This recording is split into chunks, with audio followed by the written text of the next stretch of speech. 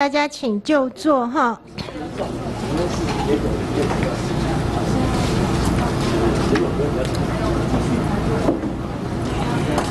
我们现在进行的是在大体讨论了哈。那当然，其实很多的意见，包括程序上的意见。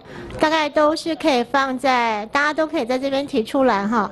那主席在这边还是做一个说明哈，因为陪审制跟参审制这两个制度，虽然有一些诉讼程序上面可能是相同的，但是从一开始名称还有组陪审团、参审团的组成成员就不一样，所以有上一届的经验，还有相关的这个法条的比较。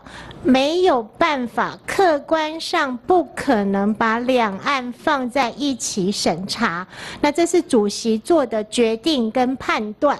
那为了让委员会审查法案有效率，所以这两天我们是专注在参审制度的一个审查，也就是针对司法院跟行政院两院会审版，我们来做询答，来做逐条的审查。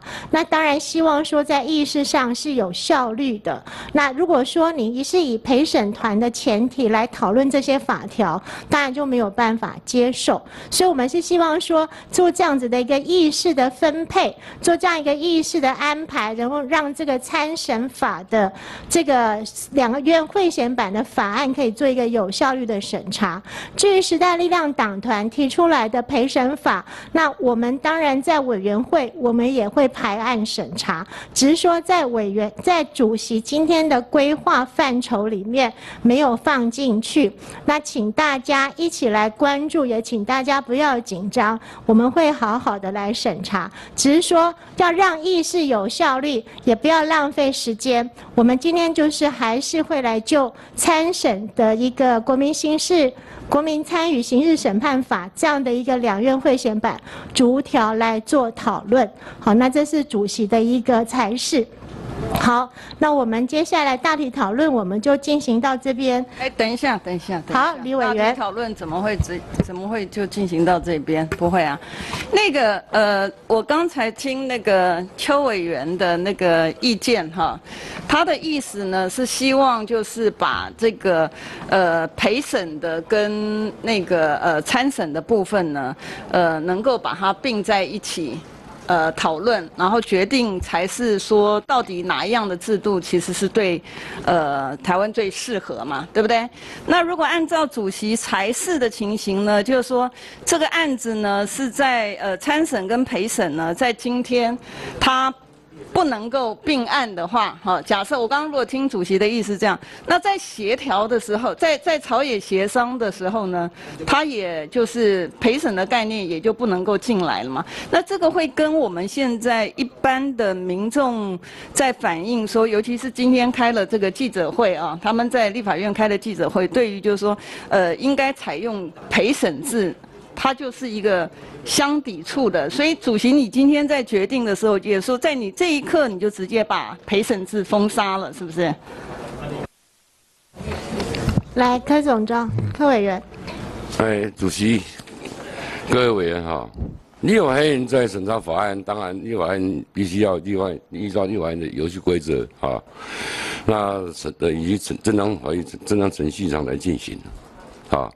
那既然已经这个排审的时候，那礼拜一上礼拜已经把周报表弄出来了哈，那也排了就是只有一个案子，四万的案子我们参审。那昨天也完成询答，礼拜一完成询答了啊。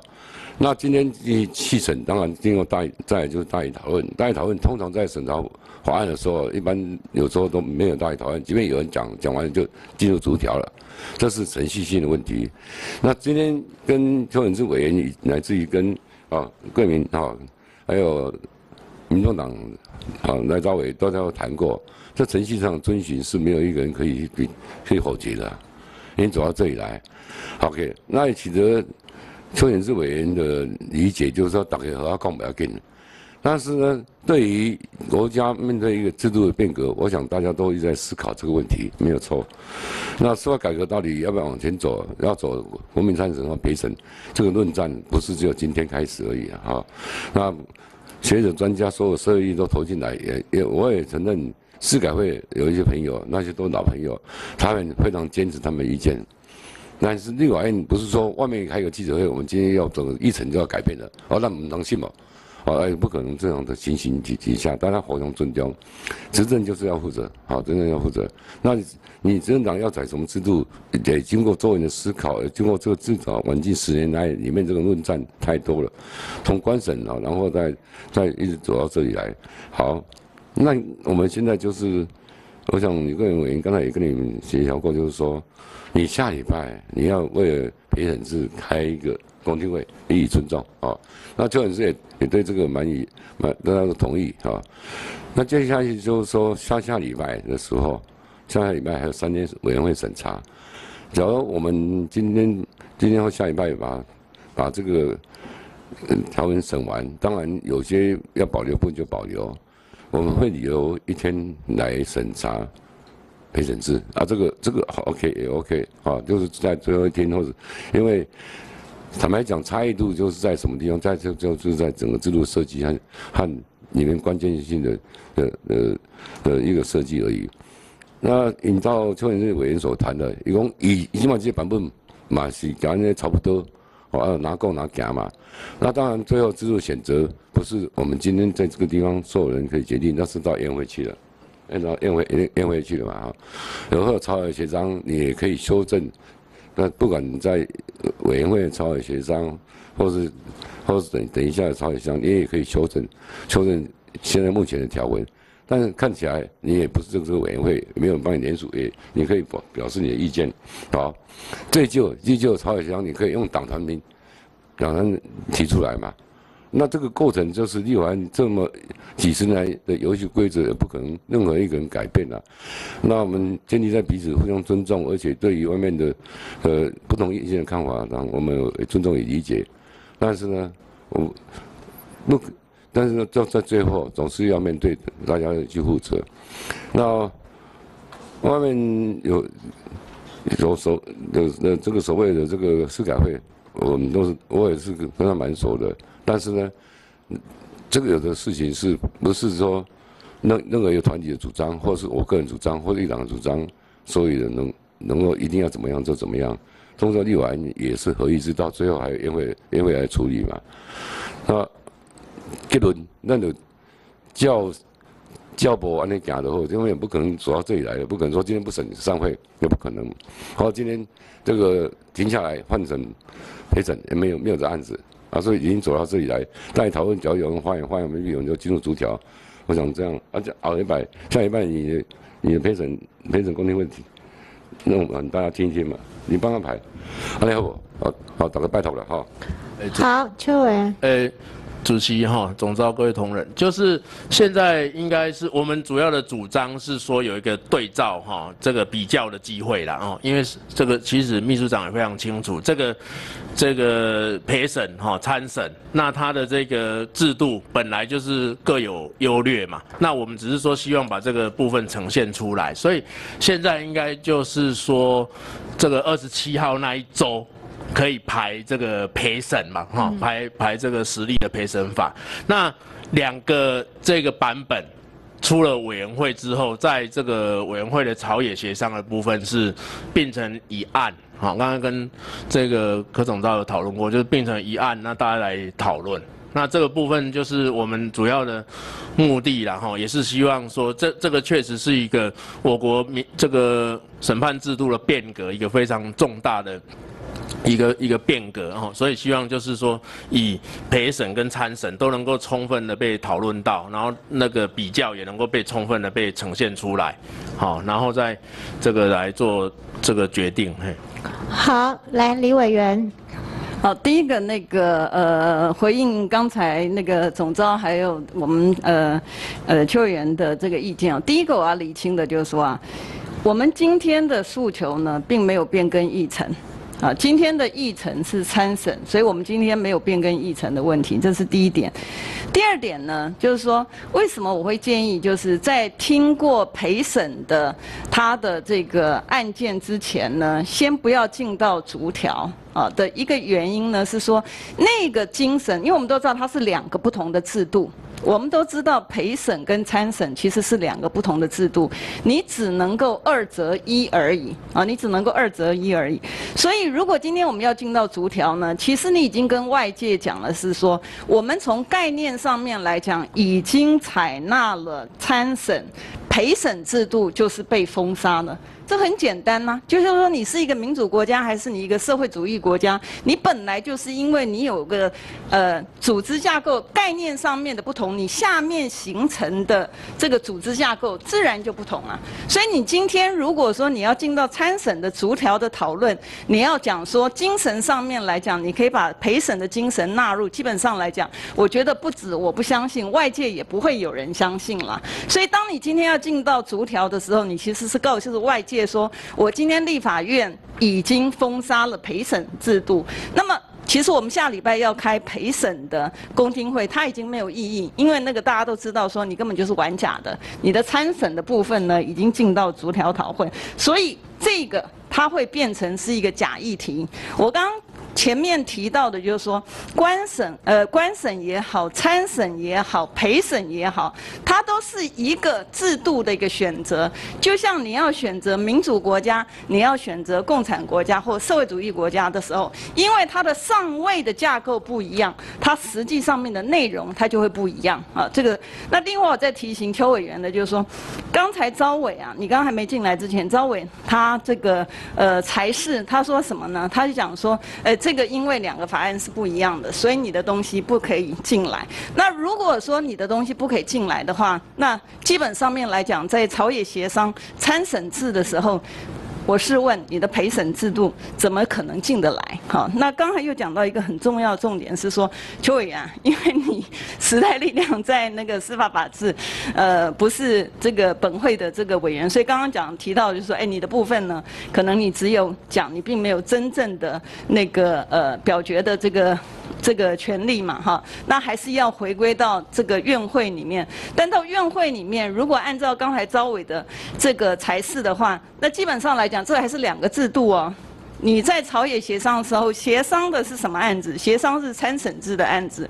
如果按照那个逻辑的话，那你怎么能够并入呢？所以逻辑上面来讲，它其实都不通了。好，以上。好，柯委员。哎，你柯委员讲的。好像是有点道理，事实上是不存在的。冲着你第一句话讲说说哈，没有听哈，没有听他们，我们不能审下去。今天委员会的排案就是这个一个案子。假如说两个案子，当然我那个哎可两个案子曾经有两个案子同时摆进来，当场就表决，然后一个不审，一个还是两两个一起审。这是排一个，这个议程已经确定，而而且进行中，进行到逐条讨论。所以说，某些公某听你，有让你没来信没？不会了，但是基于对陪审制度的尊重，当然才有公听会，所以后续再排一个陪审陪审制度的审查啊，这个是两这样才能够进行的。好，所以我要我要告诉你，就是说，三位架构是啊，三三位架构，像你所谓三位架构，当然三位架构有不同的架构，很多于思考不同的制度，这个是这值得辩证，所以分开来去处理。那告告诉要少有相的时候，要选择哪个架构。然后用用另外一个教会修正那个结构，这是民主程序嘛？无非了讲，哎，我我你无听我的，你不太信任。你发现就是法案的，当然会提案。我法案阿未你白你未使他信，说没有一个人做能做做到这样的，其实都没有一个人做得到这样。这是已经程序中的进行，那是真是假？难道是只有我们今天所有程序都所有程序都不要审，只有审陪审才是真吗？有可能是这样吧？这个到最后，大家共同负责、共同议决，这是合意制的问题啊。那任何人选择任何制度，你站在哪一边，是你你要对自己自己的行为负责、自己的理念负责嘛？否则的话，只是只是针对说，我们今天所有的国家制度只对一种制度负责，那些人声音很大，我们觉得惹不起，那我们赶快收起来。哎，不可能这样嘛。哦，那我讲这话，也许他们不舒服。但是我讲的是很实际的，我们都听到各种声音，我也知道，他们传简讯给我，过去有跟他商量、协商过，我们共同走过社会，我们刚才合作过很多案子。但是呢，这个这种这种事情是立法要公决的，正常要处理的。那所以很抱歉，就是说，我们还是理性的面对这个事情，没有所谓真的说只会假的。那谁的主张或者都是支持，当然都你站成这样的，你必须要负责嘛。呃，两边都可以有人会评判的，完全不改也可以啊。呃，我为这个事情想了这样十年，说台湾人有办法走到陪审吗？发参审吗？他是不是想起来这这控怎么吗？那整个思改是一步接一步的接接棒的嘛，一步一步的改嘛。我我在上次在这里，上次我在这里讲过，这是我不会来的嘛。啊，讲到家来一定是要要改嘛。所以司法改革才会一步一步往前走。我们我在这个地方也修了太多法案了，好，大家很清楚。那今天面对一个一个就是说程序已经到这里来，难道就是说啊同至少邱远志刚刚跟他沟通，他也蛮理性可以谈的人，大家都可以谈的，是大家面对嘛。那我我讲，所以不等于说，哎来，我陪审当中民讲，就交够我公安后民讲，按照定牙，啊只要这样的话。立完是一一个人控制也不可能嘛，也不是我讲了算数的，这是两个人外来讨论嘛。而且民众看水良立立两边安的，以民众爱呼叫，啊就就就这样而已啊。好，当时这个过程，除了委员主要讨论以后，会发生一些问题，还有吵架，还有过程嘛。最后最后还有一些过程，还是大家可以再讨论。我还是诚恳建议，应该差不多要。赛了啦，差不多要要要要启动这个程序进行的嘛。啊，今天你是底下大概对表演、对做表演或做给谁任何人交代，或任何团体交代，我想大家应该，我一直讲说，立法院审查审这在做审查预算的时候、审查法案的时候，在开会的时候，要把外面的声音全部用用平常评价，我们再自己凭良心来看待就好了。来，所以整天要呼应直播、脸脸书怎么样，那些都是不是？那这个社会应该有的价值啊。演了哈。好，周委员。就是对司法院的版本，我们当然啊持保留的态度，但是呢，就是说我们也尊重哈司法院这个，包括这个秘书长哈，或者是说这些代表，那针对这个院版的部分哈，当然有充分讨论的机会了。好，那同样的，真就是说现在。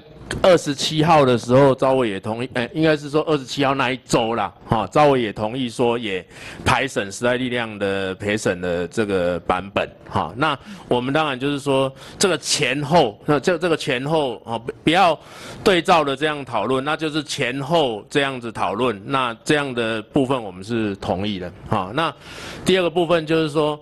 那前后讨论之后，充分讨论之后，啊，这两个版本啊都出委员会，啊，那在委员会出了委员会之后，在这个委员会的这个朝野协商的时候，啊，能够，因为这确实是说这是一个这个人民参与审判的制度啦。好，这是一个人民参与审判的制度，所以为什么它会有可相提并论性？为什么它会一直在被讨论？好，就是因为它在某一些部分的时候，它确实有可相提相相提并论性，只是说细部的设计，哈，它的配置的问题。所以在委员会的朝野协商的时候，哈，就是我们就是说并成一案来讨论，好，然后有一个比较优劣的机会。好，那现在当然就是说。先讨论这个司法院的版本，那二十七号那一周，我们来讨论这个陪审制，好，那这个部分我们是同意。嗯，好，好，李桂明委员，好。那个，我我我讲一下我个人的感受了哈。我在上次举行那个被害人的公听会的时候呢，呃，司改会在讨论那个议题的时候呢，我觉得他有很多的点出来，其实都。蛮重要的，也是就是说一般人可能没有考虑到的，所以为什么我会认为就是说在让这些的民间团体，当然从总招的角度来讲，他已经呃当委员当很久了，所以他对于整个经过的过程来讲来龙去脉他非常非常清楚。可是在这一届第十届里面呢，其实。呃，有很多的这个新任的委员啊，尤其是在本会里面，所以为什么我会认为，就是说，让本会的委员呢，最起码有一个机会他能够了解到这些民间的声音，为什么他认为说应该采纳陪审制，或者是说为什么他认为其实两岸并行是应该采纳的制度？我觉得最起码要让他们有一个说明的机会。这就是为什么我会排了下个礼拜要听公听会的原因，因为那个公听会呢，它是真正的能够让这些的民间团体把他的理由讲出来。那我刚刚前面已经一再的提到了，就是是说，当你的概念上面来讲，这个邱委员希望就是说，这个陪审呢跟这个呃参审制呢，两岸它可以纳入同一个协商。其实按照这个，当然招委待会可以可以再厘清一下，就是说你不是那个意思了哈，就是说今天他不能够排进去的原因，是因为他认为这两个案子是本来就是不一样的案子，所以他没有办法把它排进来。那同理可证。在朝野协商的时候，既然它也是两个不同的案子，那你在朝野协商的时候，自然也就不能够并案啊。所以这个是一个，当然招委待会可以厘清的。第三个呢，就是说，今天如果陪审是一个重要的，也是可能将来可能本会的委员或者甚至本院的委员在听过之后都觉得说，哎。这个有道理的话，那应该最起码让他有这样的机会，他可以知道。那你今天讲说，我已经早就在上礼拜就排了今天的议题，但是我们听到的民间的声音就是说，第一个，司法院当初是本席负责的单位啊，那原来呢，我的顺序是说排了公听会之后。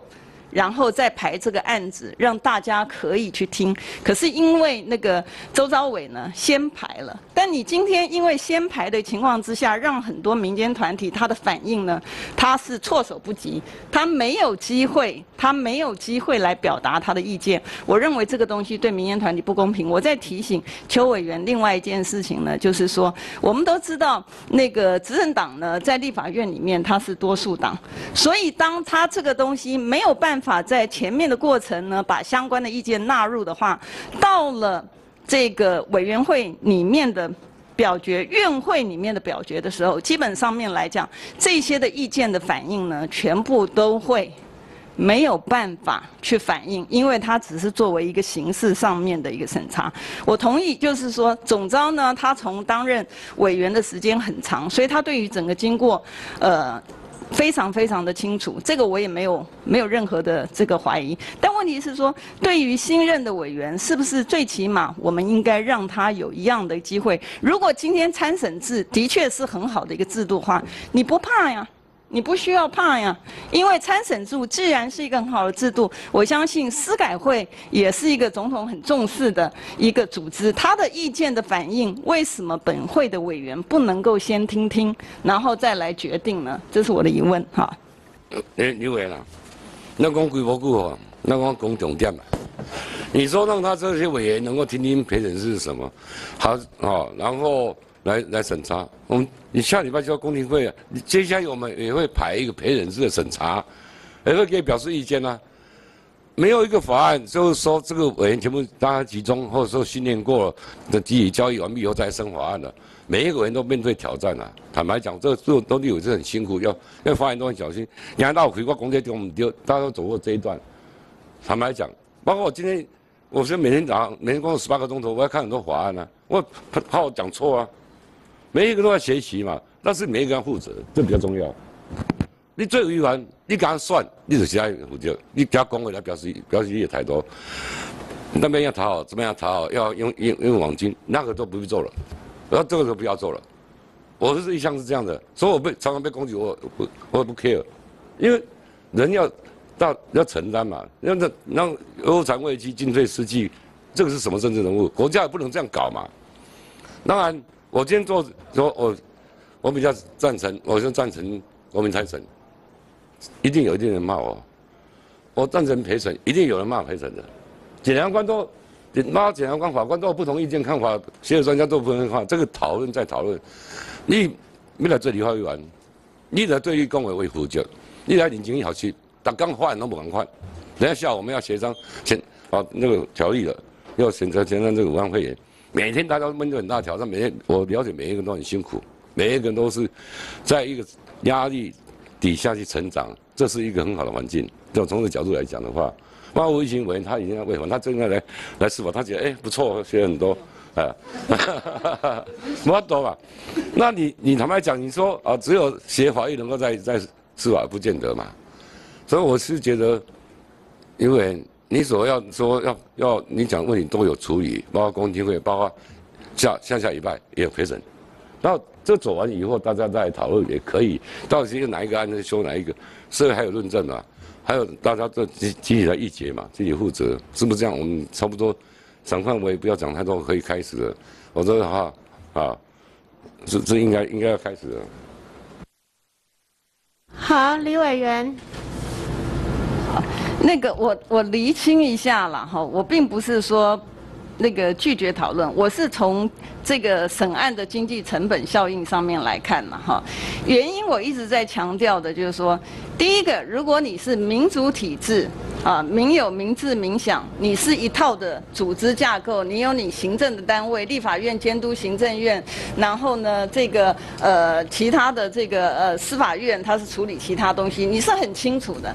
但如果今天你采纳的制度是共产主义，你采纳的是社会主义的话，那它的制度呢就不会是呃三权分立等等的。那你今天要的是说好，呃，我们呢，因为呢这个呃今天已经排了一层，所以呢，我们就今天就先把我们要的这个制度呢，就全部的把它全部都审完，然后呢，等到下下礼拜的时候呢，然后再审另外一套制度，然后再把它的制度呢，逐条的再全部的都审完。那你就是说，同一件事情呢，你就是做了两次，啊，你做同一件事做了两次。那我现在只是讲说，为什么同一件事情你不让他做一次？也就是说，今天你是要采用社会主义，还是你是要采用民主主义？先决定。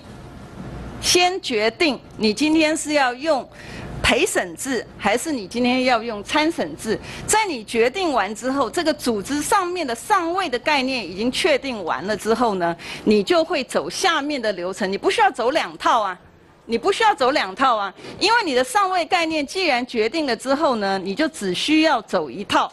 所以我的意见就是说，当你的上位概念，你现在要讲说你上位概念是参审还是陪审，你不知道。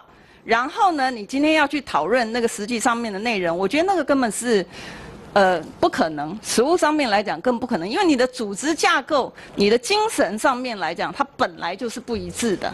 啊，这个是第一点。第二点呢，我还是要拜托招委要这个呃裁示一下，就是说您刚刚前面提到说今天的部分呢，它是不能够并案审嘛，啊，那朝野协商的时候，如果今天不能够并案审的话，那为什么朝野协商的时候它是可以并案？这个逻辑是在哪里？我要代替赵伟回答一下，赵伟哈。不要了，你要让张伟，他张伟才是的，你要让张伟回答。赵伟才是，你又不让他才是，你又不给他钱啊？那那从我这里啊，好，让大家讲话诚恳一点的，好不好？审查法案当然是就是排定就是这个法案，就是这个法案。那邱。邱显志委员也提出，我们大家彼此同事这种关心，而而且而且这个司法制度这么重要，我们大家可以协协可以谈的，所以才有谈到说，我这行教这个行阶啊，大家比较不要紧，啊，这个当然是，这不是从共产民主的职职职责，这是一个司法改革制度要变革，社会要来看待这个事情。那我相信，因为有过去一些老朋友司改会的人。非常坚持陪审制，我也碰过，我不是不知道。这些人我们以桂明太熟，他现在看电视一定在骂我，那我也必须认啊，对吧？一定是安尼嘛，无办法。我刚才讲，底下功能名威要讨好这个，要讨好这个，这这个做人也不应该如此嘛，对吧？这个法案的程序已经走到这里，只有这样一个，今天就排这个，除非你有一有能力，能能能有能力，把今天就停起来，我们。临时动议，我们商会或是我们变更议程，那是一回事。大家叫我来嘛，啊，行啊，家来，啊，就就文师也同意，那我们也把大家都同意，好，下礼拜开个公听会再审陪审没有关系啊。啊，最后走到哪里，当然立完公结啊。无讲公听我正想注文了，你看无无无从外陪审就是重计，所以干嘛无这个代志啊？对吧？不可能这个事情嘛。那，你。有人来游说，有人来攻击，有人来赞美你，这是一回事情，你要对自己负责，这个政党要负责。啊，这是可有就顾很艰困的抉抉择抉择。我们大家曾经在这领域里面都都有有曾经走过，人都知道。我也大部分时间在在野党啊，以前我们人数二十几个，我们也是一样，就照程序来讲，我我我才会占占占领主义台湾一性，这个这个这个事情不能搞到这种程度来。那既然已经走到这里来，我觉得哈，假如大家讨论没有其他意见，我们应该主角就开始。后面我们希望就李桂你为你的你的工作我们会好好听，啊，好不好？啊，好，那一定会好听啊。下次审是不是那个李委员你发言很多轮，是不是我们就先请郑郑云鹏委员先说？嗨，郑委员，问题没问题。今天的开始讨论是，其实是对于这司法改革哈，本来是活体啦。本来是慢慢走这样，那我们也做了价值选择，就是往参审的制度里面去做一些调整。那再讨论下去，在这个空间里面，早上花了两个多小时哦，也希望找到说在程序上面也可以满足很多不同主张、不同选择的朋友，他们在立法程序上面的空间。那可是再这样讲下去的时候，真的是活体变大体的。尽量屌外家的斗啊哦，所以我希望说赶快进入逐条，因为其实最坚持的今天那个邱显志委员哈，他他也不反对这样走，好不好？那那个刚才李桂明那个招委你也讲了你们的主张嘛，但是我觉得还是要开始了，啊路是继续走下去，但这个的确我们选择，我们也要背，大家都我们要背这个责任。那直播上面的直播上面也那么多人在看，也没有错了，好不好？大家就各自主张都已经讲完了，那我们是不是可以进入讨论，好不好？那个，等一下，李委员，对，好，那个我第一个哈，我我觉得就是，其实刚总召讲到有一点呢，我觉得很重要一点，他就提到说，呃，总民党也当了很久的这个在党哈，所以对于这个多数这个暴力哈。的那个感受，这个也很深。那我也记得在上次的这个呃委员会讨论的时候呢，我们在讲那个那个呃外役间的部分的时候，我们认为说哦，应该要把这个贪污治罪的这个那个是那个那个那个在监的人呢，如果他是贪污治罪的话，他就不应该让他要到外役间，因为外役间自然是像是这个呃监狱里面的豪华。头等舱，那贪污治罪人就不应该进去。可是，在那个时候，我记得我在讲的时候呢，呃，我说那那那不然对于我的那个案子表决一下好了。那我我记得那个时候，那个赵伟的才师是讲说，哎，我们在本会司法法制委员会里面呢，我们从来都不表决，我们从来都是呃诚意的沟通。那我觉得，那既然是诚意的沟通的话，那今天为什么不能够诚意的沟通？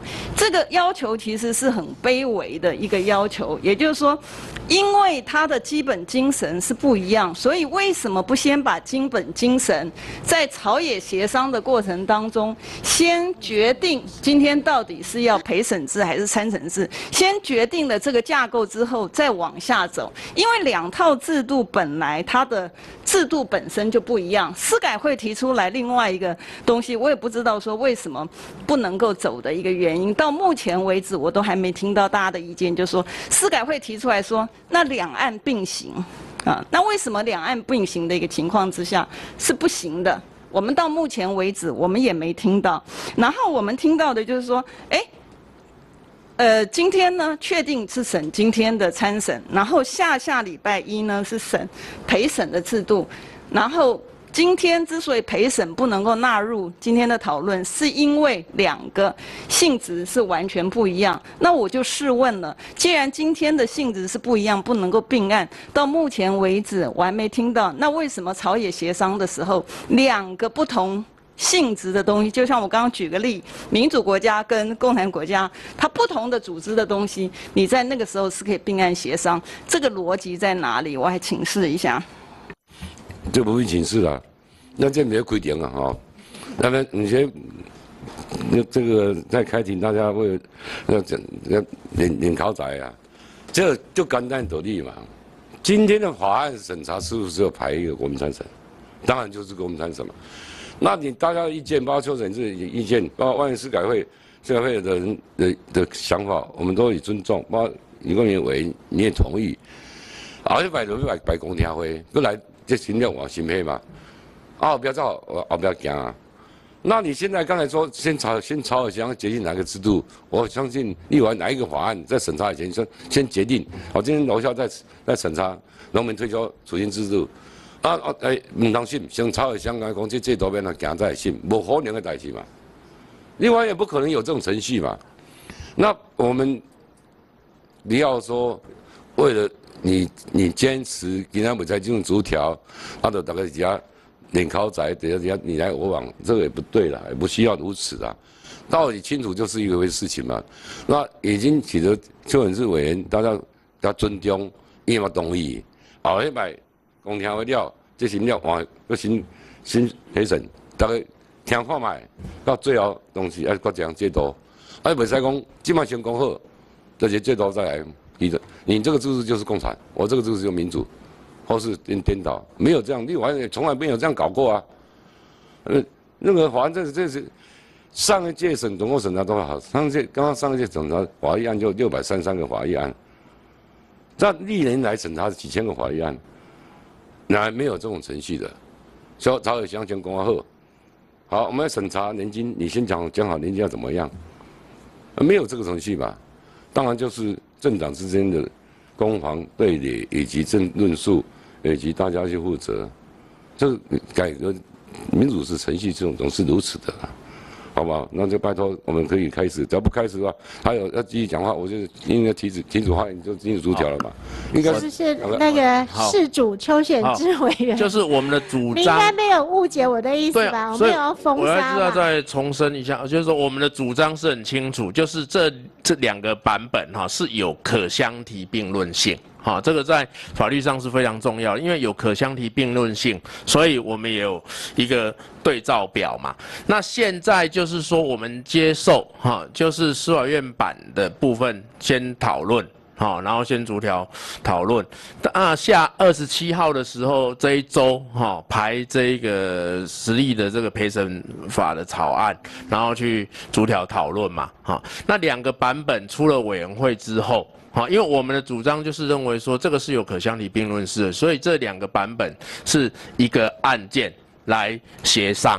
好，那当然就是说在这个这个过程之中，我们才能够就是说能够凸显出说，哈，到底这两个版本的优劣所在在哪里啦？哈，我我其实我刚刚也有讲啊，哈，司法院的版本我们是是非常保留的，好，但是我们也尊重。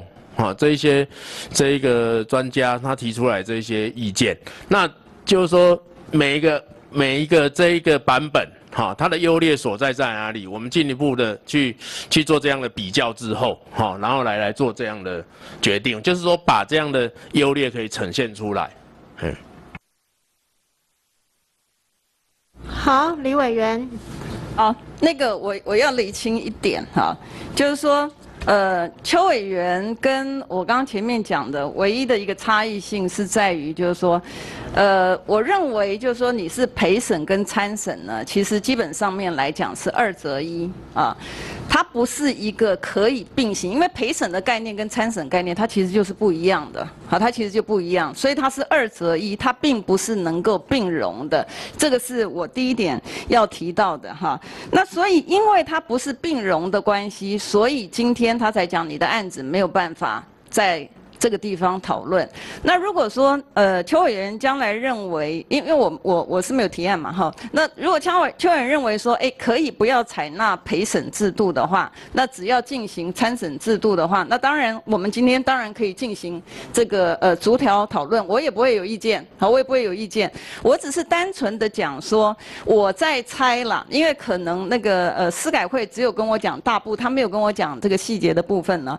他的他讲说两岸并。并行的意思，我猜他的意思是讲说，我们因为两个制度是完全不一样的制度，那究竟哪一个制度在我们台湾呢？它是它它行使的一个情况之下呢，它其实才是真正人民要的，所以他才会讲说这个呃两岸并行，然后去看那个实际上面的成果，然后决定说哪个案子才是应该我们台湾应该采纳的。那这个案子跟刚才这个这个这个逻。辑呢，跟刚才总招讲的逻辑是不一样的。刚总招讲的是讲说，哦，我们立法院审了很多的案子，然后有多少几千件的案子，什么东西不可能这个等那个，这个是完全不一样的情形。为什么？因为这个是两个案子里面，因为你的基本架构不一样的情况之下，所以你只能够二择一。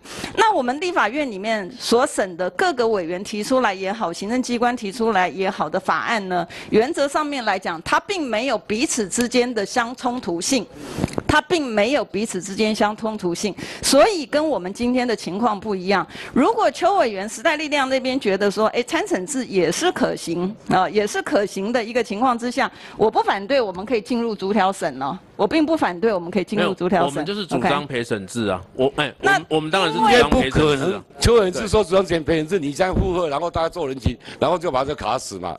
是啊，立法院在审查法案的时候，没有相对非常尖锐的很多。我问你，年金改革是不是这样？当然七十八也是一样，太多了啊，一定要走程序呢。今天程序不能说。邱文是答应才可以走程序，没有这回事。也不是说你要挺他啊，代表你现在好像国民党在改革，不是这一套的啦。我们在在讲真的，不要讲假的。你一直讲什么司改会，我是觉得司改会，我们我都很清楚，他很尊重。当然是立法院立法院审查法案就是赶快一个意见，不可能这样嘛。那他这么进选，他就当就选立委再来嘛。我们很尊重他意见，当然他这个他到最后大公结，大家公结的啊。我并不是要忤逆他们，民主社会就是安呢，民主社会就是如此。你你来来当立委，你去表达嘛？我是国民党，我是民进党，我的立场是这样。年纪改革冲突多厉害，还是省啊？没有讲无无使讲，你是假的，你是真的，无叫我就是假的，无安尼。啊，不过就这程序的，还有宴会处理的，还有你要去提修正案，很多程程序都可以处理。事实上是看你意识技巧的问题，看你只你的主张也会被被接受嘛。我是觉得在台上人连邱人都没有意见的，的熬一百对不对？对，按教安信没有哦，后一百情妙中我我没有关系，黑人是在谈在审，OK，当然很多机会可以比较，没有问题，是不是这样？我不能说哎要先决定再来，也没有这样，啊或者两个参参对决，啊参参参对决也没有机会，因为议程不是如此。我是觉得大家你是法律人应该很清楚的。我我我我我可以讲话吗？请说。好，呃，我我只是要厘清一点哈，今天进入逐条审啊，如果今天是我们要讨论的是参审制的话，本席没有意见，我也同意刚才总召前面提到的，就是说今天排的议程本来是两天的，那当然就是。这个大体讨论完之后，当然就是逐条审，我不会有意见。但是，但是，如果今天我们是真的把陪审也要纳入考量，如果不考量的话，我们就直接走，就直接进到那个逐条审，我不会有意见啊。我先讲清楚，所以不要不要误会我的意思。如果今天我们是要把陪审啊这个概念呢是把它封杀掉的话。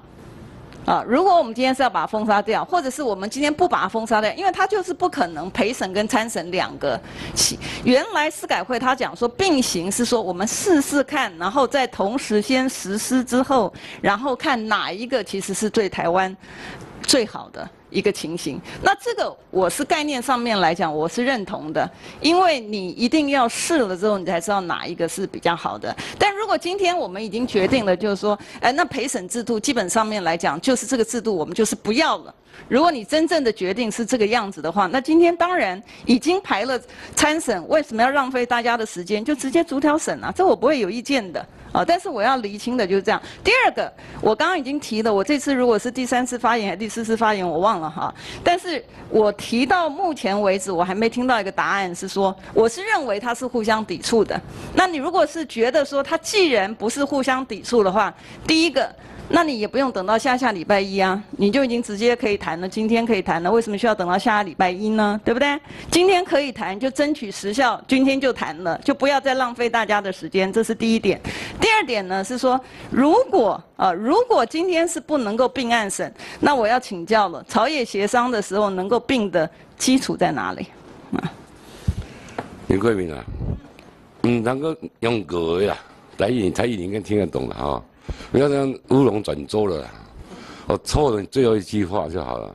既然今天就是是是国民参审，那，你就你赞成继续审，就是就是一个答案嘛。而后的发展，而后的发展，包括你有公听会，就是因为要尊重这些陪审制的人，所以我们在排嘛，排一个陪审制的陪陪审制法案嘛。那以后的走走会走到哪一个，或是内双委，或是两两个并并行，两岸两两制度三种政治并行，那各政党要负责，到最后议宴会要议决这个事情，这个要议决这要议决的啊，所以程序先行，其他不要再讲了。既然你说只有国民参审，今天这个案子也是国民参审，啊，主主也无来无无意见，哦。啊，唔能够拿落去，拜托给好不？好，开始啊！我我补充一点哈，就是说这个并案审这个哈，我从昨天哈就讲到讲到今天早上哈，那现在就是说我们是同意说前后审，但是我我要讲的就是。在这个两个案件都出委员会嘛，两个案件都出出委员会的话，如果是说，哈，比如说司改会的版本是排第一个，我们是排第二个，那我们是反对的，因为这样的话，等于是说司法司法院的版本过了之后，我们完全没有机会嘛，所以我们才会主张，哈，就是说在这个委员会的朝野协商的时候，必须要这个并成一案呐。啊，并成并成一案来审，然后让这个两两边的这个优劣可以充分的展现出来，是在这样的一个前提下，哈，所以我们才在今天的这一个委员会的审查的时候，同意说前后审，就是现在先选先审这个司法司法院的版本，那二十七号那一周的时候排时代力量的陪审法的这个草案。好，谢谢。程序的问题我们得厘清啊，程序的东西我们搞不清楚的话怎么进行？我先再讲一次，今天要逐条审，我个人没有意见啊，所以不要再去用这个东西来。我现在的问题是说，你参审跟陪审。可不可以并行？可以还是不行？当你过了参审的条文之后，当你过了参审的，我是说院会了，不是说委员会而已哈。我是院，当你过了院会的决定之后，陪审制度还是一个选项吗？答案是不是？因为它两个就是二择一，它两个就是二择一，所以为什么会你要？并案试行的原因，我刚刚已经在讲了。那如果今天你们是最终的决定，刚刚招我已经讲，总招已经讲得很清楚，各个政党各自负责，这个我也同意啊。本来你就是不仅仅你对政党负责，你个人也要负责，这我完全同意。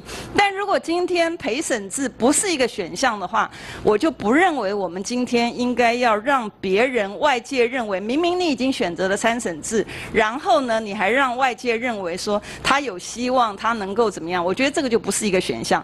但是如果如果啊，今天在讨论过这个参审的条文的过程当中呢，你在下一次的下下礼拜陪审二十七号陪审在讨论的时候，他的东西你会不会把它并按到你的朝野协商？会还是不会？我到现在为止没听到。我到现在为止没听到，你会不会把它并到协朝野协商的里面？那我的问题，假设你的答案是说不行，那我就要问了：过了参审制之后，陪审制它还有可能吗？它当然没有可能，对不对？但是如果你要把它并入朝野协商的话，那我的另外一个问题要请教的就是说，那既然你朝野协商可以并，那为什么你今天不可以并？因为你今天不可以并，你回来的逻辑是讲说，我今天排的就是参审。已经讲得很清楚了，对不对？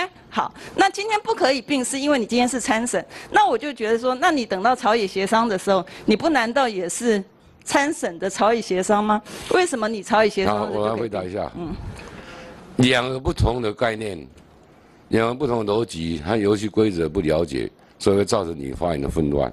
我想我必须很清楚讲，你既然讲好，今天参审你没有意见就处理。对吧，然后你要再扣住说啊，一号是别按照你搞讲啊，清楚。啊，一号你的参审，你的陪审都还没审呢，对吧？那两个都审完，大家还有冷静空间去讨论。那至于未来宴会会会怎么样处理，那是未来的程序性的问题，包括各党各党程序性的问题。也许他讲了以后，哎，就委外，我们不敢讲，呃，我们可以来支持这个，因为我相信，包括李桂元委员，你在这个议题上你是律师，你你你有基本的信念和看法，但是过去所讨论所走过路程，也许有一些东西也不清楚，也也曾经讨论过我们内双轨嘛，好不好？呃，两个。两种这头龙来赛我，那是后事后事。今天没有一个人可以讲这个答案，所以我说都都对都无，那是后事了。连法案连开始都还没开始，这钱人家变那个还没好好讨论者，后边不个讨论你你你陪审，那你就假设说，我一定要先赢，你讲我问家先 OK 再来，不会代志，也没有这个这个程序，也没有这个法律，也没有这个任何有这种权威性，这个。这个还是经济经得起讨讨考验和讨论的。我们还有过程，等一下开始的时候，当然每一个人都会发言嘛。所以没有说所谓你现在这个不能并审，以后就不能并处理。现在一定要并审，不能能能跳来跳去。你讲的话我们都很尊重，那我们就开始好不好？啊，总是快十二点，总是要一个。所以现在好不好？现在是不是再来吧？哦。所以，我就是说，现在招委是不是能够说明，就是说，现在我们是从开始就申招委，我知道，好不好？就是说，同意先后嘛。那到了这个委员会的朝野协商的时候，是并案审，好，而不是说朝野协商是一种程序。对了，那还有朝野党边，还有朝野的，还有就是我另外一种程序，就是说委员会的朝野协商。那那这么好，委员会现在还没开始讲，以后。终极结结论，朝野将因为表决的时候态度先弄出来，啊，法法案都不必审了，没有一个人有这能力，所以这样这个条文就是照这样，就不民共不会再信。对，那你会有鬼门咯，那我就现在就是说，现在就是说，我审过几千个法案了，假设这个司法院的版本参审制先先处理嘛。好，然后二十七号那一周的时候，这个我们处理。哪惊哪讲好不？安尼好不？好。不啦，啊，今晚的提供，我们现现在团体就是担心说会不会这个陪审他都没有一个机会。我的政党不要讲我的团体，我们团体政党也是一样啊，我们就是主张陪审制嘛。哎呀。那个邱委员，我想早上大家在讨论协商，应该就是这个共识嘛，哈。我们今天先把《国民参与刑事审判法》草案这个逐条，把这个议程我们把它进行。那在下下周，感谢你还是希望我排了哈，所以我在下下周我们这边也讨论，会把你们的陪审法放进去。那至于说以后协商，我想就如同刚刚总召讲的嘛，都还没讨论，而且这也不是我个人能决定的啦。好，纵使在委员会协商，将来还是院会协商嘛，党团协商嘛，那都还是有无限的可能跟空间嘛。那目前我的职责，我今天排定的议程，我希望是有效率的，所以我们就来进行《国民参与刑事审判法》草案的逐条。好，谢谢大家。那我们先就直接就名称，我们现在开始逐条讨论。请问大家对《国民参与刑事审判法》？名称有没有意见？没有。没有的话，我们就照两院会选版通过。接下来讨论第一章章名总则，请问大家有没有意见？没有的话，我们就照两院会选版通过。接下来我们讨论第一条，就是《国民参与刑事审判法》的这个立法目的。李委。好，李委员，我呃，我要请教一下那个司法院呐。因为那个你的这个呃参审的那个条文呐，我看了一下，跟那个当年的这个呃官审的条文呢是，呃几乎一样了哈，就是说相似度在百分之应该讲说七十以上是一样的哈，少数连条次啊、连用语啊，大家都一样。但你在第一条的地方呢，你就加了一个东西哈，就是说，呃原来原来官审地方是讲说这个了解及信。在特制定本条例嘛，你你中间就是加了一个用语，说彰显国民主权理念。这这个我不太懂，为为什么参审跟跟主权它有什么样的一个关系？是不是拜托秘书长说明一下？来，司法院请说明。呃，就是说呃，应该是说国民呢是呃掌握国家权力的最后的人，所以如果让他直接来参与司法权的行使，那这个可以彰显国民主权的理念。啊，因为官审啊，在官审没有这句话，是因为官审不能参与裁判。说这句话就是两个，就是官审跟参审之间的差异。那那从陪审的角度上面来讲的话，就是你认为陪审的部分也是有这个，呃，更能够彰显国民主权的理念吗？跟呃跟委员回答这个问题哈，那么陪审他基本上就是我们没有办法接受的原因，就在于他基本上呃没有办法由四四三七八号解释啊容纳进来，因为四四三七八号解释啊，他只呃承认到就是由职业法官呐跟非职业法官共同审理，不能完全由非职业法官来审理。好，来邱委员。哎，秘书长，你说四至三七八号解释，哈，他没有承认说不能够由这个全部都是由非职业法官审理嘛？但是问题是说，这陪审制也是一样啊，他只是说这一个这个陪审员决定罪的部分嘛，那刑的部分。啊，还是有，而且状他的状况是说，这个陪审员在那边的时候，中间还是做了一个法官嘛。那法官在指挥这个诉讼，这个诉讼指挥。那之后呢，刑的部分还是由法官来做决定嘛。那所以就这个部分看起来，它的差异只是在于说，到底这个法官跟这个所谓的陪审员或参选员，他参与的程度到哪里啊？那四至三七八号解释如何能够得出，好说，在这一个司法院的版本里面，它必然的一定要采取这样的参审制。来，秘书长，就是。呃，跟委员报告，我们那个结论还是在三七八号解释了，哎，当然，那委员有用这个角度来看三七八号解释啊，那这个是我们觉得委员有误解了，哎。好，那好，那这个第一条我们是不是就照两院的会选版来定，就立法目的？好，第一条我们就照。不是这个，我们有意见啊。邱委员，你们那个精神是在讲陪审啊？对啊，对啊，他就这个，就是说他一定是用这样的方式来定义，说能够符合的这一个这个我们的法秩序里面能够符合，只有这样。好，这个秘书长的意思是说，只有参审制才能够符合这个大法官解释，或者是说你。我不知道你的依据是什么，说大法官四至三七八号解释，所以司法院现在认为说一定要采用参审制，而不能够采用陪审制的理由，是因为大法官四至三七八号解释吗？呃，这个。当然，我们是为我们的选择负责嘛，所以我们这样说了哈。啊，等到要审陪审法的时候，我们看看你们的条文的用语，我们也在表示意见，这样就好了，好不好？啊。对了，就是第一条，我们今天的前提就是在在讨论这个参审的制度，那就看这个立法目的上面，大家觉得是够还是不够，或者文字上要再修正。那如果没有的话，我们是不是第一条我们就照两院的会选版来通过？没有，但是这个在第一条我们是反对的。但是你的反，对，我知道你反对，只是说这个部分理由上面你是从陪审的角度来出发嘛？对啊，因为我们觉得说像他这样的制度的取向，啊，然后说一定要是采取这样的做法，这不能够认同啊。因为我国的法制，因为现在陪审制跟参审制讨论了这么久，那也没有说。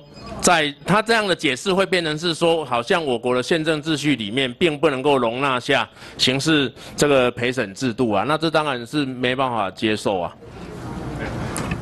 它的涵涉范围没有那么广吧？它只是在定位说，我这个国民参与刑事审判法，我的立法目的的要彰显的意义吧？它也没有去就陪审或者其他的去做一些线索或者是解释啊。所以它的解释应该，它就是说。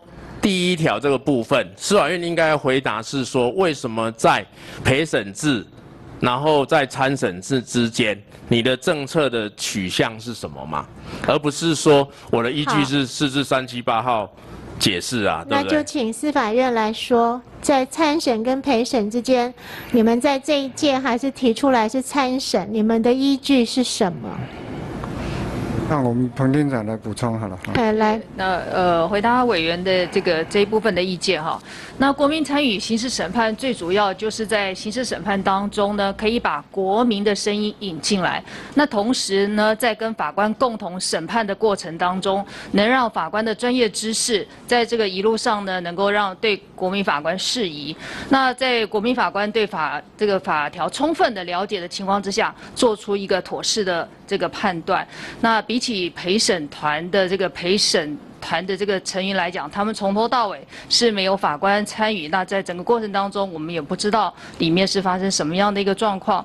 那呃，对于我们现在的这个专业法官，他要回到他的审判当中哈，去行使其他案件的审判职权，也没有办法从中啊。得到一个学习，所以呢，目前呢，呃，我们希望从职业法官完全来这个进行这个刑事审判，要走向人民参与的另外一端的话，我们希望循序渐进，以稳健的态度呢，先跨出这一个这个步伐，让法官跟国民法官共同的来这个做这一阶段的这个参与，这样这样的一个程序，谢。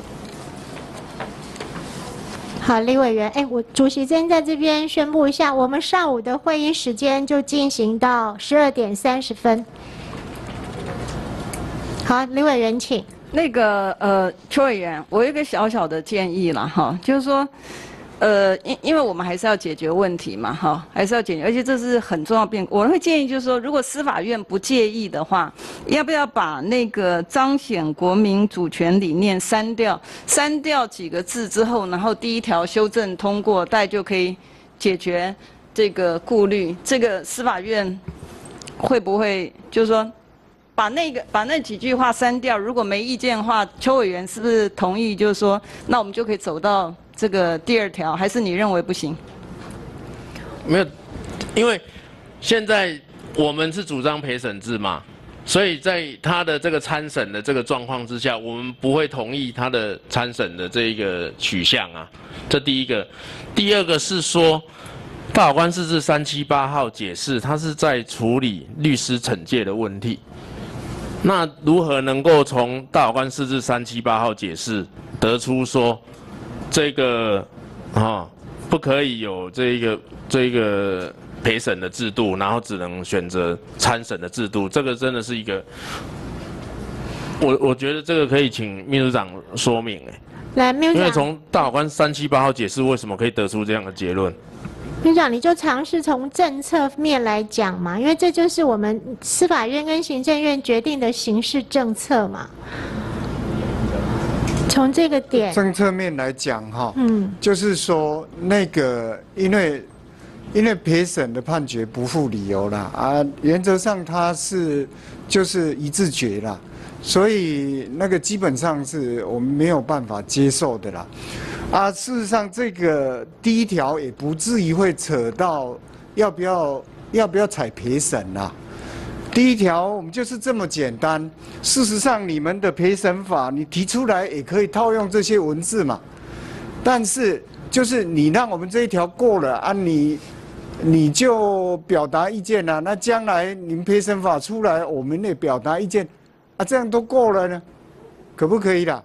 哎啊，那是因为李委员刚才岔开的问题嘛。好，就没拿内嘛。好哦。刚刚大家第一轮了，我们现在请第一轮发言的蔡瑜蔡委员。哎，我觉得哈，每一个制度一定都有它的优点跟缺点呐哈。那参审有参审的问题，那陪审一样有陪审的问题。所以秘书长，我觉得你在于今天在审国民法官，也就是参审的这个制度的时候，我刚才求你多话讲哎哈，我觉得我们既然司法院跟行政院有态度，您爱讲对您起码支持参审，来讲得更有信心。比方说，你说陪审的一个很大的问题，他没有所谓上诉的概念，他希望都是在一审，那二审的时候只剩法律审，这是陪审的一个架构。那国民的感情，他现在有办法说，哎，我如果走我现在原始的程序，我是有三审的救济，我走到了陪审的时候，我可能不是那样。那会不会让人民在适应上会有很大的一个落差，跟他本原本对于期待我有三审的救济的的不同？我刚刚秘书长，你要把这些事就大方的讲出来，然后让在场以及说有在听这些转播的人知道，说这个制度的选择是为什么，我们选择什么制度？对，像我在上届我也是有提出陪审团的一个法案。好，我也是有提出来。那我认为陪审团也是台湾应该要走的一一条路。好啊，但是你们现在有不同的一个想法的时候，我干嘛讲你卡的？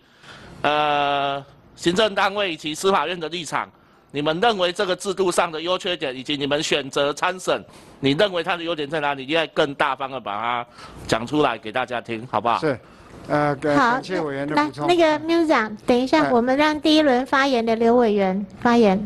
好，我我也想针对这个部分哈、请教一下哈、如果你就字义上来看，国民参与刑事审判或者共同参与这几个字，一定就是所谓的参审制，然后没有陪审制这几个呃不同的制度上面吗？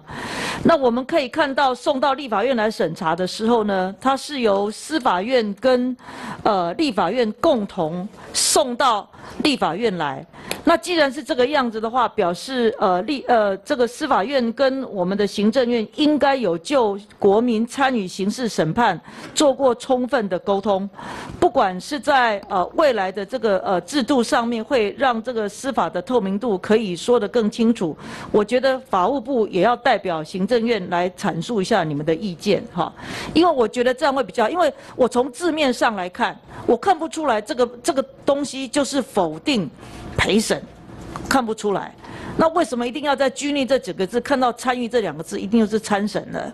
所以我觉得这是怪怪的哈，除非说我们的国文基础不够好。那我是想说，是不是也请法务部呢，也就这个部分呢、可以代表那个行政院，来就这方面提出你们在政策面上面为什么会比较支持司法院这个国民参审的这个制度上面提出你们的说法跟看法？因为我也知道说我们的很多法案呐、届期不续审，那更是很多新的委员是第一次参加司法法制委员会，可能。上一届的时候，你们已经已经像像甜过，已经流过，就已经超生去啊！但这届的人拢不听鬼，所以嘛爱互因听看嘛爱解。我是觉得说这样子，可能在我们很多资讯的揭露上面呢，会让让委员呢可以做更好的判断跟支持，或者是呃不支持，好吗？好，谢谢。好，谢谢刘委员。那我们就先请司法院秘书长说明，接下来请行政院就是法务部蔡次长说明。来，林秘书长，你先讲，他跟我行政一讲。嗨，我还是强调啊，我们之所以呃不采陪审，是因为就是你呃呃陪审他采一原则上采一致决，另外一个他判决不附理哦，啊第三点就是独家蔡蔡委员补充的，啊你那原则上一致决一一原则上就袂使上诉嘛，啊这这这个百姓。我我我们的国民一般大概不能接受了，啊，只是说一直在讲陪审陪审啊，那电视上看也都看美国剧，所以大致上你给跟国民这样讲，你如果让他了解说，哎，判过来这是无理由的哦，哎，啊判了其实没使上诉的哦，你这样讲他就吓到了，你跟他讲清楚他就吓到了，啊，那那个另外就是那一致决做不成的时候。那个重罪的被告已经羁押快要期满，那你竟然那个那个案子要退回给检察官，啊，你下来你接着要放人呢，呃，百姓可以接受吗？我们的国民可以接受吗？好，来那个蔡市长。我们行政院呢，那么我们是赞成这个国民参审，理由是第一个陪审这个变动过巨，这个我们从媒体呀、去看到陪审的运作看起来很爽，但是有参与过实务运作经验的人都知道，这样的一个呃由不具法律专业的国民完全独立来做成判断，依照诸多的实证经验来指出啊，那么他确实比较容易受外界资讯影响甚至误导，这个有流于人民公审或舆论审判的发展。甚至违反无罪推定的原则，侵害被告的基本人权。据受法律的体系呀、我们通常认为是循序渐进。我当然希望一次就圆满到位，但是我当然希望所有的法律不论轻重，所有的类型都能够进来。但是你要看看我们的法官他有没有办法负荷。从诸多的实证经验演变看来，我们所有的一些体制。他要真正能够落实，都要循序渐进。所以，从我们的完全由职业法官中间再经过国民参审这样的一个经验，这是一个比较啊呃可靠的一个一个进程。再来判决不负理由，这种没有经过审判的老百姓只在看戏，真正他到时候一个案件大家都认为人人。皆也可差，判决出来的结果完完全迥异，这样的一个社会氛围有办法接受吗？再者，参审比较没有违宪余地，我们不是说陪审一定有违宪。但是它有违宪的疑虑，那参审制比较没有违宪疑虑且可行，那么这个参审的一个运作啊，那么有助社会多元价值的对话跟交流，那么这种变动不至于过去让老百姓一时无法接受，而且能够达到尊重人民意见的改革宗旨，那么我们从国际所有的。民主先进国家原来采陪审之后修正改弦更张，采三审之力，有德国、有法国、有日本，不是啊，像委员所讲的说只有日本的法律，那么只是说我们接近邻近的日本，他们所采用的不论我们国民的一些背景习惯各方面都比较激进，所以我们参采日本是一个比较可行的。那么人民参审这个。就是因为我们大家都知道，过去的法院法官，那么被人家昵称是恐龙法官，那么很多是因为老百姓没有去接近那些审判的过程。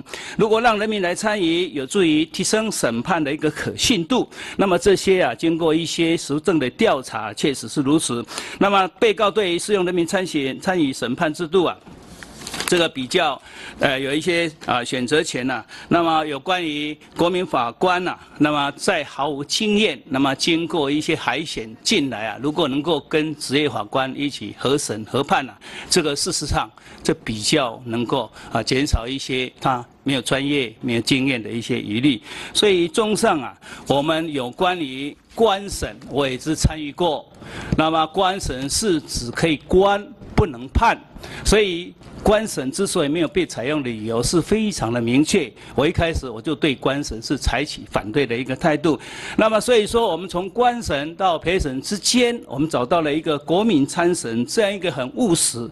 我们并没有说我们一个呈现非要什么样的一个制度才可，但是我们国民很需需要一个制度，不是大家这样子冗长的讨论，没有办法决定。在那个经验，在上一个会期就已经彰显无疑。我们还要认定那样的一个程序，大家都无无无限上纲的一些讨论，结果我们国民殷殷期待的一个制度，结果没办法落实。所以我希望说，大家能够体认诸多上开的一些论证啊，那么能够让这个国民参审早日到位。而且我们在如果大家能够成就，在二零，也就是一百哎一十二年。我们一月一号就可以施行，啊，这个是我们行政机关的一个意见，谢谢。好，谢谢蔡市长。好，邱委员。好，谢谢蔡市长哦。那刚刚市长有讲到，就是陪审制有违宪的疑虑了哈，这个部分是不是等一下可以请次长再说明一下哈？我真的看不懂，说到底从大法官四至三七八号解释这个律师的惩戒的这个制度，如何推演出说这个陪审自由违宪的疑虑？那第二个部分就是说，刚刚秘书长有谈到哈，那你不可能看着这个美国的影集，然后就想象说陪审制这个部分哈会就就形成是这个样子。那我要问的是说。那参审制啊，哈，根据第一条这个参审制，那秘书长有参考过哪样一个国家，有哪样一个制度？那现在看起来就是从头到尾讲的还是日本嘛，因为德国的法院我亲自亲身去去参去去看过，也旁听过非常多次，德国的这个参审制度哈，也不是像司法院所提出的这样的一个版本啊。我刚刚说了，就是说。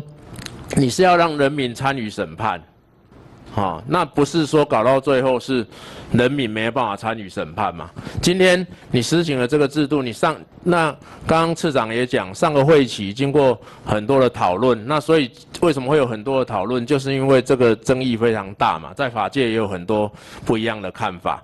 那既然争议这么大的情况之下，好，有一个很大的一个争点，在上个会期的时候，就是说你用七年以上有期徒刑之罪，那适用的范围这样的案件，事实上才一千两百件，结果这个会期司法院送进来的这个版本，竟然没有去解决这个问题，反而又把这个能够适用的范围更缩小。所以这相信这是很多人是没办法接受了嘛？现在司法院把它定义为说十年以上有期徒刑之罪才可以适用这个这个人民参与审判的制度，那件数就只剩下六百件。那我要说的就是说，包括刚刚参与委员，哈，他他说他在上个会期在上一届的时候提出的这个陪审法的草案也好，或者是尤美女的委员的版本，或者是其他时代力量版本，也不可能说限缩到。这么窄的范围嘛，所以看来看去，司法院的版本就是只有参照日本的制度啊。那我们不要说欧洲了哈，不要说美国，不要说英国，现在事实上在英美各国实行陪审制的国家五十几个国家嘛。那就算有实行参审制的国家，欧陆的国家也没有像司法院的版本这这样哈弄得这么窄。更何况上上个上一届的时候不是这样，这一届又更窄了。好，那。台北地院如果实行这样的制度的时候，只有四十件。四十件里面，我刚刚讲了，四十件里面，你的这个国民法官六个人，哈，台北两百多万人，一年里面能够被经历过这样人民参与审判制度的人，可能这个了不起两三百人。所以这样的状况，怎么有办法去这一个让人民可以参与审判？那我当然同意次长的说法，说好，那我们要。这个不要一步到位，要循序渐进，避免冲击过大等等，这样的状况怎么会有任何的冲击？没有冲击啊。那所以如果按照司法院规划的这个版本的话，好，以这样的件数啦，我说我们的陪审法这个司法院的版本是定在第五条哈，这个十年以上有期徒刑之罪，第二是前前款情形外故意犯罪，因而致人于死嘛。如果时代力量的版本。这个第六条规定说，我们现在是规定说，被告所犯罪行本刑三年以上有期徒刑。假设陪审法啊，这个陪审法草案把它定成跟司法院一样这样的要件，十年以上有期刑之罪也是一样六百件呐。那对这个现行的体制，哪有什么哈？这个是什么不能够因应或什么样的问题？根本没有这样的问题嘛。那所以。你现在这样的制度，说实在的，讲来讲去，你说你的批评是说啊，不可以说人家是看了这个美国的影集之后，发现陪审制的状况。事实上，国内有非常多研究陪审制的学者，人家根本就不是说。好，不了解这个制度，然后去看了这个影集，然后认为说陪审制，哈的状况就应该长得跟美国影集一样，所以去引进这个陪审制，不是嘛？这个事实上在台湾，好，包括民进党的党纲里面都规定陪审制，就是说，事实上这个已经有太多太多的讨论，也有太多学术的文献了嘛。反而是你必须要面对一个真的，你必须要面对学界的一个指责的是说，或者是说一个这个诘问的是说，那为什么？即便你不采取像英美这样的陪审制，像这五十几个国家的陪审制的话，为什么你非得要采用这个日本的这样的一个制度嘛？好，那我们远的不说，好，邱委员是不是那个那我们浓缩一下？你大概三个问题嘛。对第一个就是说，请蔡市长来针对说有违宪的疑虑这一点再具体回答。第二个就是案件的适用范围，我们是不是到第五条再来讨论，好不好？然后第三个就是说，刚刚为什么是其他世界各国哦，好像只有日本是采用裁判员制参审制，为什么我们就独钟于日本的裁判员制？这个部分我们先先说好吧？啊不，我给你嘛听他混啊，结结婚金啊，哈，我讲的，就是说，好，你说这个日本的这个制度，同样都是在这个亚洲哈，然后有相同的什么样的状况的情况之下，那奇怪了，那明明香港已经实施了陪审制一百六十几年啦、香港事实上也也也用繁体制啊，那他也实施了这个陪审制一百六十几年，那你为什么不参考？哈、香港的陪审制的这样的规定，所以我们的这第一条这个状况，哈、看起来就是你的取向、你的选择，感觉就是非常的质疑性的，包括说第五条从去年七月，哎，去年七年以上有期徒刑，现在改成十年嘛，那你上一届的时候，难道你没有经过？这个非常谨慎的去评估，说你的容量到底有多少，所以这个这个秘书长，我真的觉得说这样的状况，要怎么能够合理的去说服大家说，哎，那现在司法院所提出的这个每年只能够做六百件，六百件是说第五条，还有还有第六条繁杂的还不能做我们是不是就请司法院跟法务部来一起回答？来，秘书长先。对，就是为什么只 为什么世界各国就采很多的陪审制啦？那为什么就只有日本是采参审裁判员制？为什么我们是呃就是去采日本的裁判员制？就是欧陆也有很多然后香港，香港也是亚洲的地区。小咱咱就是要叫你要学日本尔啦，其他各国英美各国咱那不要学啦。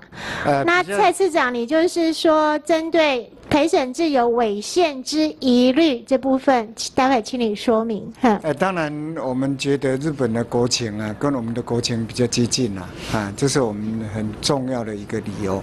那么，那那宪政上的理由，我们最重要考虑三七八号的解释了。好，其他的让我们法务部来回答，好不好？好，蔡市长你再说。哼。呃，讲违宪哈，这个比较严肃了，老百姓也听不太懂。啊、都针对委员刚刚所讲的，其实哈，委员所有刚刚讲的一些啊、这个国民参审的问题，包括只有六百件呐、这个老百姓怎么会有参审的感觉？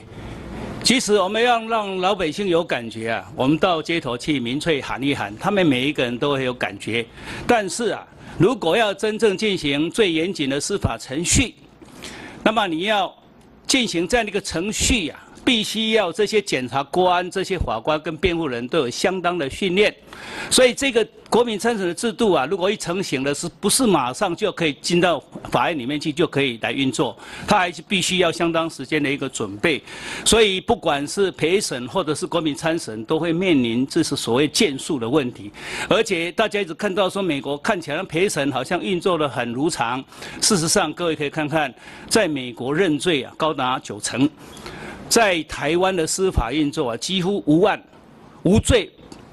不表不表异议，不表不上诉的。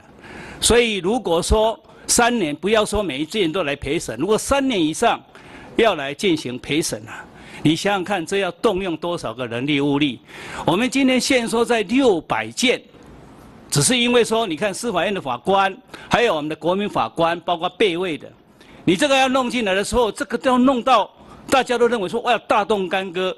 那你将来的陪审，我们不是说陪审不好，我们从来都没有去去否定过陪审，但是这个陪审很好，问题你要落实到民间，让老百姓能够运作、能够接受，这个是有很大的一个一个落差。那么讲到违宪的问题，就是说，这个不是我讲的，这个都可以讨论的。那么陪审制度它的特色，大家都知道。那就全部都是由这个国民来组成，不受职业法官来干涉，那么独立来认定这个犯罪事实是否成立。但是我国的宪法第八条第一项后段就规定啊，没有经过法院依法程序不得审问处罚，没有依法定程序之逮捕、拘禁、审问、处罚得拒绝之。那么司法院大法官的会议啊，解释也有三百九十二的。阐明啊，宪法第八条第一项、第二项所规定的审问啊，是指法院审理之讯问，其无审判权者，既不得为之。则此两项所称的法院啊，当时有审判权之法官所构成之独任或者是合议的法院之位。可知道啊，关于将宪法第八条的法官限制为狭义法院，这个成员仅限于职业法官，则陪审制仅由一般国民组成的陪审团决定被告是否构成犯罪，法官被排除在此一决定之外。恐将产生这个这个违宪的疑虑，所以在这里啊，我们并不是把这个所谓陪审，我们自己啊成见认定说，因为它违宪，所以我们不去参裁。我们也一直认为是陪审是一个非常好的制度。问题我们准备好了吗？我们的老百姓准备好了吗？我们的法官，包括今天光一一千两百件，他就不堪负荷，何况是要六百件。所以我们也要请各位委员能够务实，要可行的，那么去看待未来啊。那么当第一件的国民的参审案件出来的时候，如果那个结果令我们所有的老百姓哗然，那么这个制度啊，终将也是无以为继。所以何况是全由国这个法官没有职业法官参与的这种判决在内啊，那么那产生的那种落差，那不可想象。谢谢。好，来邱委员。哎，是赵伟哈。那次长哈，因为你是我高中的学长啊哈，但是因为我职责所在，我马上要跟你问一下。第一，我我觉得哈有两个点呐，一个点就是说，一共六百件这个哈，我我真的要跟你们跟大家报告，就是说参审制的国家还是很多，哈。欧陆、欧陆、日本等等还是很多，但是你这个案六百件，如果真的我去查过那些文献，我真的没有看到过有一个实施参审制的国家，他一年的参审他只能处理六百件。一个这个台湾的刑案呐，哈，每年是二十万件哦，新二十万件，那。你说要人民参与审判，你说要实施参审制，结果你每年好，去年是说一千两百件，现在是说六百件哦。有哪一个国家？我现在就是要问次长，有哪一个国家，他的这个参审制实施下去之后，一年呐只能处理六百件？真的找了老半天看不到。好，那第二个，而且我必须要说啊，哈，就是在德国的那个参审制的状况。不管是你在地区的法院也好，每天持续进行的参审制的案件，有法官旁边坐两个穿牛仔裤的案件非常多。因为他的这一个要件，他的刑度不是说到十年以上有期徒刑之罪，绝对不是这样子哈。那第二个，你刚刚提到那个违宪那个，我就是都会觉得很怎么讲，就是说。大法官三七八号解释是在处理律师惩戒的问题，大法官三九二号解释，你刚刚说的三九二号解释是在处理到底，哈，检察官有没有羁押权的问题，所以这跟国民参审或是陪审一点关系都没有嘛。现在的状况就是，这个羁押就是由法官哦，而不是由检由检察官来行使，这个部分在法界没有人有任何的疑义呀。所以你说用四至三九二号解释，四至三七八号解释，然后可以推导出说违宪这个陪审制有违宪之余，好，这个真的我是觉得非常非常的保留。那我针对这个刚刚哈，我一直在问秘书长，就是说到底为什么非你假设国民参审了哈，已经有五十几个国家是陪审制，而且那个陪审制是人民参与审判，恐怕是这个历史上的演进都是最古老的。那参审制这个东西有很多的国家，那你去学习了一个日本嘛，好，那你的回答是说，因为日本的国情跟我们很像，所以你必须要去选择这样的方式，好。那第一个，这完全没有论证，哎，这完全没有论证。我觉得这完全没有论证啊！如果是我国的法制度，哈，因为我国的国情、我国的民情跟日本很像，所以这个制度就应该要去学习日本的制度的话，那今天我们在这个上面这个六法全书就不是长得这个样子嘛？今天不管是教育部的公费留考，或是法律系的学生，每年大量的学生。去流血的国家，好有美国、有英国、有德国、有法国，当然也有日本。但是呢，并不是说我们今天我们的国情跟日本相似，这个这个理由太奇怪了。当然，日本的制度、日本的法制度也有它的优越之处嘛。但是不是说是因为它的国、它的民情跟我们很像，所以我们去学习？那这样的话，院长为什么要去哥廷根读读公法？哈，院长为许许院长为什么要去？哥廷根，然后去去学习，然后得到这个法学博士回来呢，所以这个理由实在是，我是觉得完全没有论证啊。好，邱委员，谢谢。我想到底有没有违宪之余了哈？这个大家在法律学界大家假说以说，那当然也没有定论啦，也没有人都拍板啦。那因为也不可能到。那个司法院大法官裁判宪法法庭去审判嘛？那只是说今天一个政策的选择，行政单位有这样的考量，那做这样的一个取舍了。那因为上午的会议，刚刚主席就说我们进行到十二点三十分，那我们现在休息，那下午两点三十分继续开，呃不不继续开会。